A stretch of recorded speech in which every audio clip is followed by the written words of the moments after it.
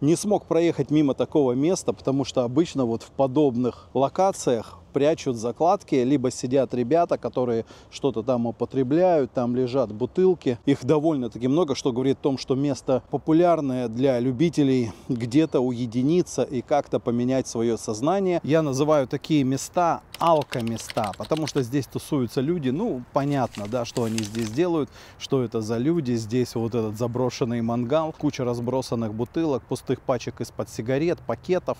В общем, все вот эти вот атрибуты, которые остаются остаются после людей, которые бухают. Они здесь проводят как-то свое время, и мне даже самому, знаете, хочется разобраться в этом немножко внутри себя, почему так происходит, почему они находят такие вот отдаленные местечки где-то вот, ну так, чтобы их особо не было видно. Причем здесь парк, парк такой прикольный, вы видите, да, тут прямо лесополоса такая небольшая. Не то, что здесь там культурно подстриженные кустики, хотя там вдоль дорожек, вот именно таких прогулочных, там все окультурено. Здесь как бы такие вот тропинки, которые проделали сами люди, и вот они здесь тусуются тусуются. Вы знаете, раньше у меня было то же самое.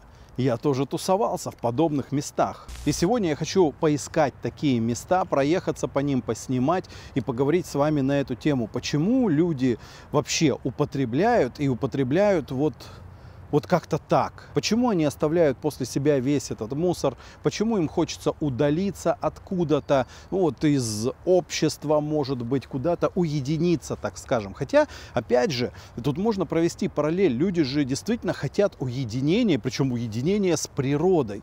Кто-то на рыбалку, туризм, походы, охота, вот куда-то туда классно уехать куда-нибудь, вот как я люблю, в Карелию уехал, Онежское озеро, какие-то ламбушки лесные, никого нет. И действительно, когда ты вот так вот на природе, тебе классно. И здесь вот что-то подобное, но только обратите внимание, вы уже видели эти кадры, только это подобное, как оно выглядит. Человек не старается уехать куда-то в какое-то, ну, не то что прям уж заповедное место, но куда-то там, где действительно природа.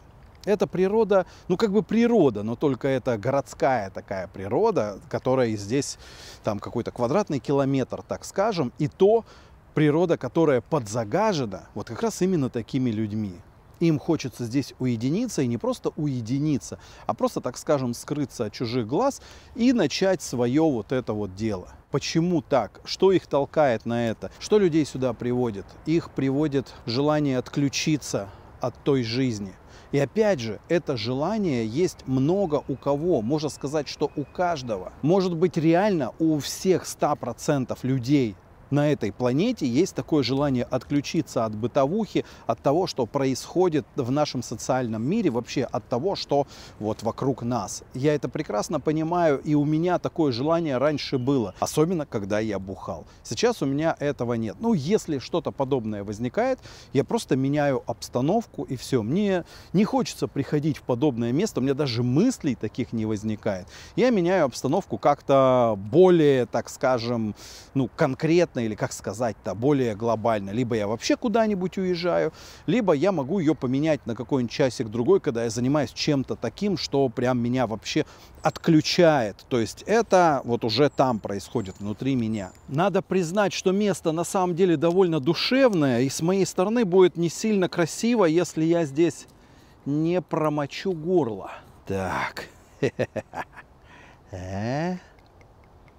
Буквально пару грамм и все. Вообще я пью и с правой, но сегодня можно и с левой. Ваше здоровье.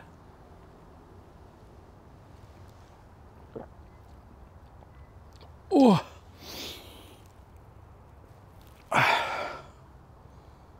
Пойдем дальше. И вот рядом точно такое же место. Вот пакет с говном лежит, здесь люди бухали, остатки опять же какой-то пачки, еды, вот э, бутылки. Кто-то здесь разжигал костерчик. И люди расслаблялись, отдыхали, сидели вот на этом вот бревне. Все в рамках той же самой концепции, о которой я говорю в этом видео.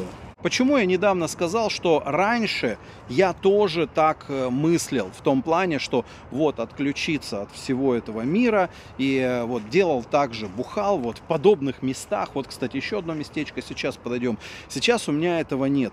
И вот тут как раз и есть то важное, что я хочу вам сказать, ребята, то, что Все находится внутри нас. Если ты прячешься от той жизни, которая тебя окружает, это говорит о том, что ты сам и создал ту самую жизнь, от которой тебе нужно, ну хоть ненадолго, но скрыться, убежать. Причем убежать куда-то вот типа вот сюда, где ты также и насрешь. То есть какую ты жизнь создал для себя, от которой ты убегаешь, то ты после себя и оставляешь, какое у тебя отношение к жизни, также и жизнь относится к тебе. То есть я сейчас не про то, что не надо мусорить. Понятно, что не надо мусорить. Это как бы, ну, такая очевидная штука, как красный стой, зеленый иди. Но ты оставляешь после себя то, что находится внутри тебя. Я сейчас не про напитки, которые ты употребил, хотя и это можно туда же засунуть. Я сейчас про твое отношение. Вот в чем дело что ты строишь, как ты строишь свою жизнь, вот такая она у тебя и есть. И если ты ей недоволен, то логично, что все правильно, ну, по моему мнению, не приезжать вот сюда вот или приходить после магазина и вот здесь вот э, все это засирать и бухать, а менять саму жизнь, чтобы тебе было классно. Другое дело, что готов ли ты делать. Или на самом деле проще взял, и все, и не надо ничего менять. Пускай остается как есть. Место тоже неплохое, скажу вам честно. Поэтому, ну, буквально чуть-чуть на дорожку. Будем здоровы.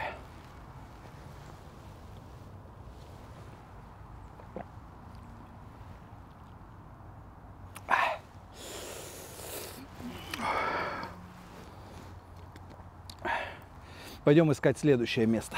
Очередной мангал, какая-то дубина, здесь вот типа столик или седалище какое-то. Очередное уже третье место, вот буквально здесь квадратные, квадратные 100 метров, наверное, 100 сюда, 100 сюда.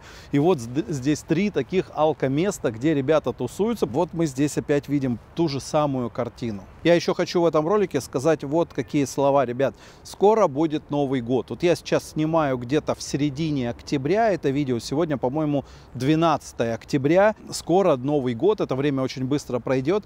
И вот у меня спрашивают люди, которые недавно отказались от алкоголя, как быть, потому что скоро будут корпоративы. Везде будут корпоративы на всех работах, ну или почти на всех. И когда человек не пьет, у него получается, что некоторым просто не хочется туда идти. Ребята, я считаю, что это очень правильно. Если ты еще в таком состоянии, когда недавно отказался от употребления спиртного, то это, наверное, лучшее решение не появляться на корпоративах. Ни на каких пьянках, корпоративах, дня рождениях. Вообще вот вот эти вот дела, идеально от этого отказаться. Это в идеале. Если ты можешь себе это позволить, то есть на тебя никто не обидится, да даже если обидится, это решать только тебе. У тебя есть право выбора, как говорится, выбор доброй воли. У каждого из нас есть эта возможность выбирать. Мы появились на этот свет с правом выбора мы не можем выбирать, да, вот где мы родились, кто наши родители, там, цвет кожи, ну, я не знаю, какие-то такие моменты, которые у нас изначально, так скажем, нам даны, которые как по каким-то причинам генетически, еще там как-то территориально мы не можем изменить, и то многое мы можем поменять, ты можешь переехать в другую страну, что касается родителей, само собой, как есть, э, так и есть, но вообще в целом касаемо вот большинства того, что происходит в этом мире, большинство вот всяких действий, мы можем выбирать. Куда нам устроиться на работу, мы можем выбирать. Может быть, мы не можем выбирать вот прямо в моменте, потому что, к примеру, деньги нужны вчера, а работы нет сегодня. И вот тебе предлагают, а ты не хочешь туда идти. Конечно, у тебя все равно есть выбор, но если тебе нужно прямо сейчас что-то заработать, ты пойдешь на эту работу, которая тебе не нравится, потому что нужно купить поесть и так далее. То есть вот это все понятно. Но в целом у нас есть выбор. И что касается вот именно пьянок, у тебя тысяча процентов есть тот самый выбор, чтобы там не появляться. Ты имеешь на это полное право, чтобы там не было, особенно рабочие корпоративы. Можно что-то придумать, а можно и честно сказать, что я отказался от алкоголя, я просто вот себя держу. Но на самом деле многим пьющим людям, они просто этого не поймут. Им это и не понравится, и они этого не поймут. Поэтому по своим причинам, там, каждый там сам решит. Лучше не ходить. Но если все-таки ты пошел на какой-то вот корпоратив, какой-то праздник, такое торжество, ничего страшного, ты просто не пьешь. Представь, что ты не пьешь всю жизнь. Представь, что ты не пьешь вообще. То есть как тебя заставить? Как тебя заставить выпить соляры, бензина, не знаю, растворитель какой-то, э, омывайку для лобового стекла автомобиля? Зачем? Ну, конечно, ты этого не будешь делать, само собой. Не пьешь и все. Естественно, будут вопросы, а что такое, а что? Решил не пить. Решил какое-то время пожить трезво. Что-то от алкоголя не очень хорошо. Хоть там выпьешь даже глоток пива, уже чувствую что-то, не знаю, что-то вот. Можно что угодно говорить. Но на мой взгляд, если ты утвердился в своей трезвости, не пьешь и все. Да, можно повеселиться, э, и по трезвяне можно повеселиться. С другой стороны, когда люди уже, вот ты появляешься на таком мероприятии, и проходит немножко времени, стопка, другая, пятая, десятая, все, через, не знаю, уже час тебе с этими людьми уже будет неинтересно. Может быть, только с теми, кто действительно прямо вот чуть-чуть, там, пару глоточков, там, или что-то такое. Да, с такими людьми ты там можешь и пообщаться, что-то там пообсуждать, как-то там провести время, потому что с остальными, кто уже там, эй, это уже не особо интересно. Поэтому я считаю так, ты, конечно же, вправе выбирать идти, не идти, но если ты пошел, будь уверен в себе, что не пьешь и все. Вот не пьешь. И там вот эти разговоры, а что, а почему? Начинается обесценивание. Просто постарайтесь от этого человека отстраниться. Переключить его интерес. Вон есть же Андрюша, ну, ну выпей ты с Андрюшей. Со мной хочешь, ну вот надо было раньше, а сейчас... Хотя, в принципе, давай и сейчас. Сачок, водочка у тебя, а у меня сачок, выпьем или что, или как? Или я тебе нужен только для того, чтобы ты наебенился? Ну, человек все равно обидится. Но понимаете, это его выбор. Вы не должны э, беспокоиться насчет того, что он выберет, обидеться на вас или нет. Это вообще вас не касается. Потому что он может подумать, а, у тебя темные волосы, а мне нравится, чтобы были светлые. Все, ты мне не друг. И что теперь, идти краситься, что ли? Конечно, нет. Это его безумие. У каждого свое безумие. И у кого-то оно здесь, вот это безумие, вот в таких местах, отключение от реальности вот где-то здесь, вот в этих вот четырех деревьях с этим дешевым мангалом из пятерочки, который согнулся от углей, и, конечно, который здесь оставлен, все эти хабарики, разбитые бутылки стеклянные и пластиковые, смятые, вот это вот все хапчики. Вот то, чем богаты люди, которые здесь расслабляются. Ну, это очевидно. Я сторонник совсем другого. Вот сейчас я смотрю на это, и на мой взгляд, намного лучше сходить куда-нибудь в ресторанчик.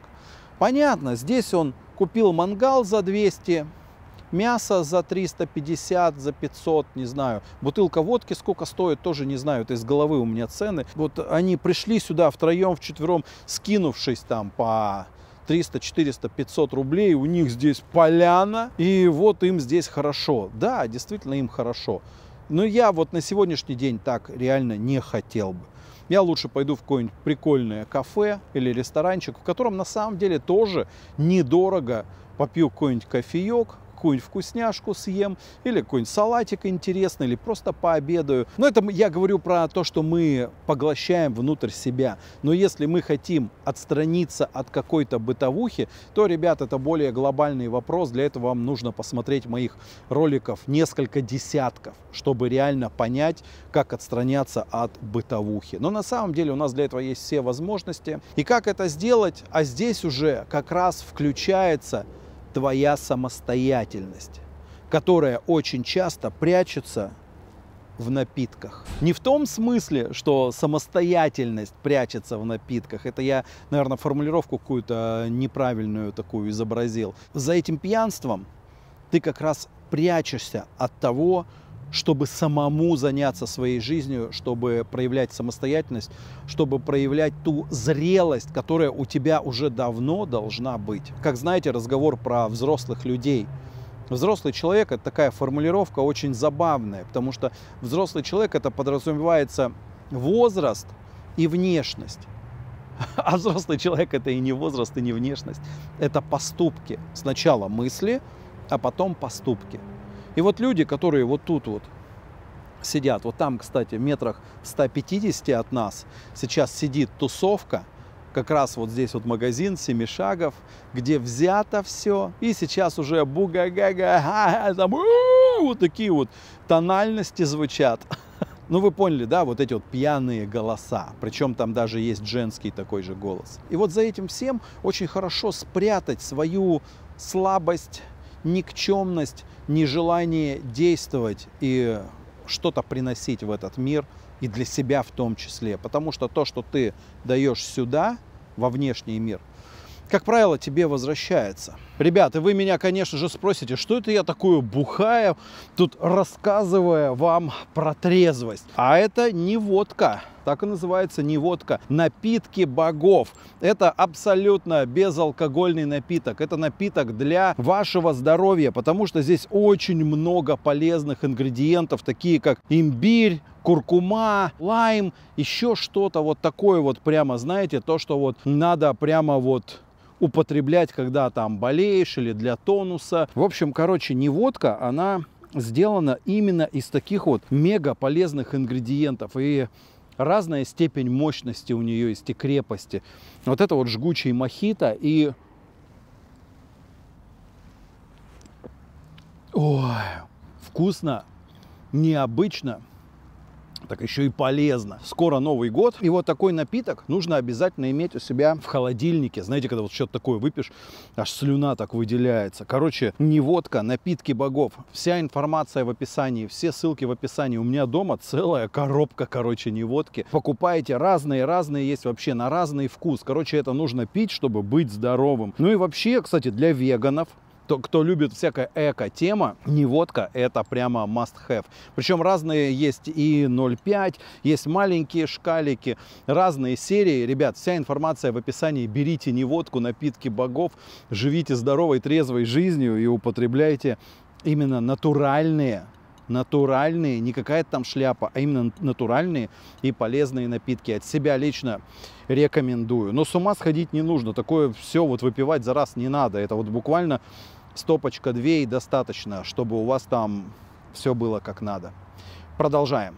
Даже в таком симпатичном месте, как это, казалось бы, вот все открыто, не от кого прятаться. В общем-то, здесь тусуйся, наслаждайся природой. И не скажешь, что это алкоместо, а на самом деле тоже все эти стекла, хапчики, ну это понятно, это у нас, наверное, вообще везде. Ну и бутылочки тоже от пива здесь стоят. И вообще, когда я здесь прогуливаюсь, здесь все-таки, видимо, убирают. Регулярно можно увидеть прямо в углах вот так вот навалено пустые пачки из-под сигареты в том углу и в этом, какая-то упаковка, что-то. Короче, все это есть. Даже вот казалось бы, не сильно алко место, все равно мы здесь насрем. Но насрем чем?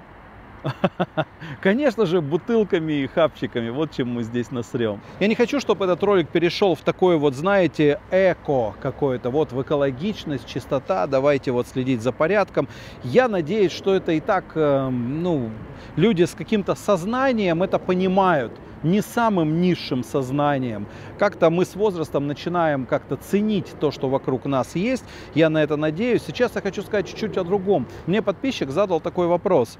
А может быть это судьба? Знаешь, типа есть судьба быть бедным, э, быть богатым, быть каблуком, э, быть еще каким-то. Может, это судьба. Вот человек прожил так всю жизнь и все. И вот пьянство, может быть, это та же самая судьба. Дело в том, что судьба, опять же, это штука, которая, которая придумана нами, людьми. Это термин, обозначающий нечто, обозначающий. Забил болт на себя. Вот хожу весь такой неряшливый, судьба.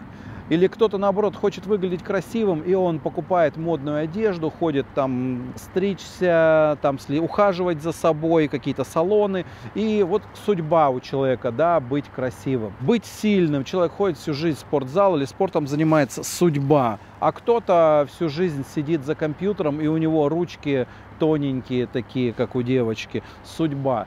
Я скажу так, конечно, очень хороший и удобный термин «судьба». Но мы эту судьбу можем менять. Вот в чем дело. Конечно, там что-то вот случилось, не дай бог стал инвалидом, не стало части тела, тоже можно сказать, что судьба. Ну, ты назад ногу, руку не пришьешь, конечно, если только протез сделать. Но вот пьянство, ты это можешь изменить. Алкоголь, ты все это можешь изменить. Другое дело, что опять же, мы к чему возвращаемся? К самому себе. Что тебе придется это делать. Именно тебе самому делать. То есть так, что за тебя это никто не сделает. То есть можно все на судьбу свалить, но только правильно ли это, ну, я не знаю. Мне кажется, что нет. Поэтому все можно самому сделать так, как ты посчитаешь нужным. И за судьбу прятаться, ну, это прятаться. Опять же, можно сказать, ну, судьба, ну, не повезло. Так ли это? Я считаю, что нет. Каждый может бросить Каждый может жить трезво, каждый может наладить свою жизнь.